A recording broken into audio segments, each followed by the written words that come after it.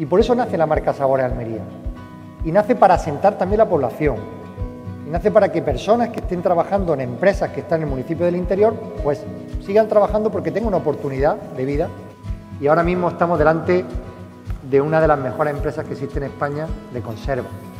Por tanto, hay que sentirse orgulloso de lo que ha hecho Paco, de lo que ha hecho Dolores, lo que ha hecho Elena, lo que ha hecho personas que trabajan día a día con ellos y que han levantado una empresa y la han puesto a un nivel espectacular.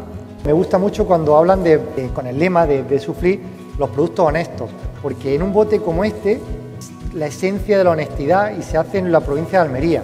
Que hemos despertado ese orgullo almeriense en nuestra empresa eh, en el que nos hemos posicionado en, Almería propiamente por, por, encima de cualquier otra empresa que venga de fuera, nuestro producto ya lo sentimos muy nuestro y ya cada vez está más conocido.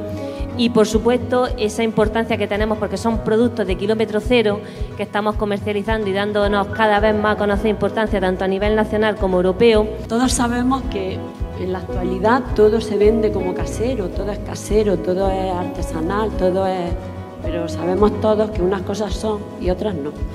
Entonces, lo que nosotros mm, publicamos, el discurso que nosotros tenemos, además es que es cierto. De clara, bastante sencilla, que era nuestra intención en todo momento, que los ingredientes quedaran en primer lugar, el cliente final lo ha entendido muy bien, lo ha aceptado muy bien.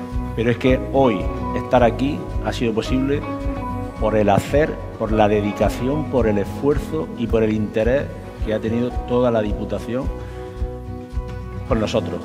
Desde el presidente, por supuesto, que, puso, que, puso, que fue el primero que puso interés, como María Luisa, como los trabajadores y el personal de Diputación, la verdad es que estamos muy, muy agradecidos.